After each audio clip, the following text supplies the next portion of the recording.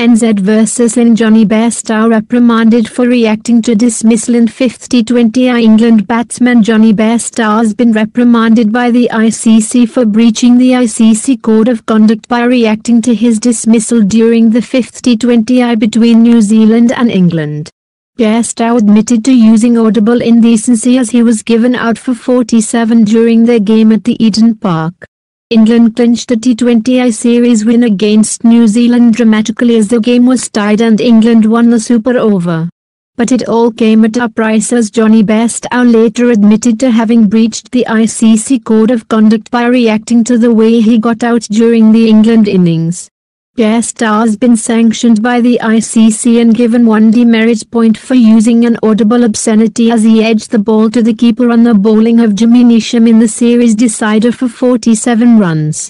He admitted to having breached 2.3 of ICC Code of Conduct as he left Eden Park having reacted the way he did. There were scenes of deja vu at Eden Park as yet again like the World Cup final a super over was needed to decide the fate of the game in the series.